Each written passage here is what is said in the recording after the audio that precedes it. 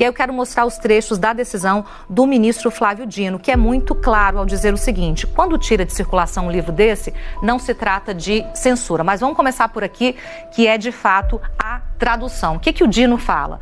As obras jurídicas adversadas não estão albergadas pelo manto da liberdade de expressão, pois, ao atribuírem às mulheres e à comunidade LGBTQIAPN+, características depreciativas, fazendo um juízo de valor negativo, utilizando-se de expressões misóginas e homotransfóbicas, afrontam o direito à igualdade, violam o postulado da dignidade da pessoa humana, endossando o cenário de violência, ódio e preconceito contra esses grupos vulneráveis. Então está aqui a base da decisão.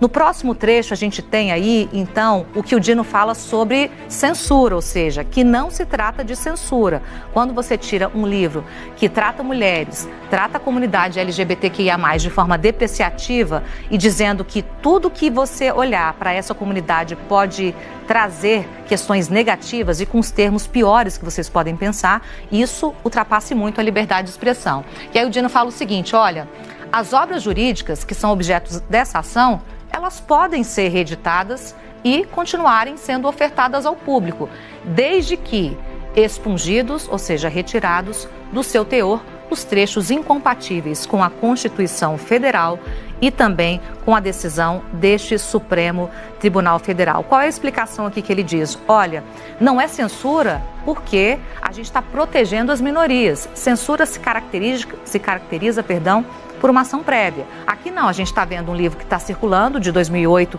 e 2009 para cá, com claro preconceito, depreciação e conteúdo criminoso, então a gente tira. Se a, se a editora ou os autores quiserem é, relançar reeditado, sem trechos criminosos, não tem problema algum. E aí eu quero terminar aqui mostrando na página 22 para 23, exatamente nesse ponto, gente, está perfeito aqui, o que que se trata, né?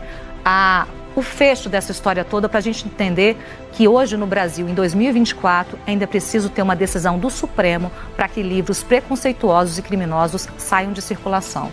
Aí ele bota o seguinte: olha, tudo que tem nesses livros, ou seja, tudo que é colocado ali desborda do exercício legítimo dos direitos à liberdade de expressão, não é liberdade de expressão, é crime, depreciação e de livre manifestação do pensamento, configurando tratamento degradante, capaz de abalar a honra e a imagem de grupos minoritários.